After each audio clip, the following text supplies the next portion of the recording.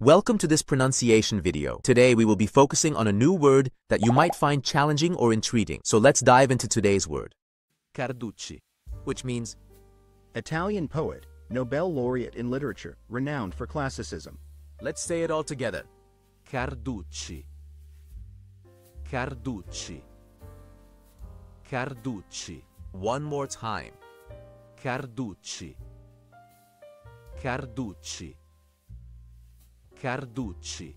Thank you for joining us on this adventure in pronunciation. Remember, language is a journey, not a destination. Keep exploring, experimenting, and expanding your linguistic horizons. We'll see you next time.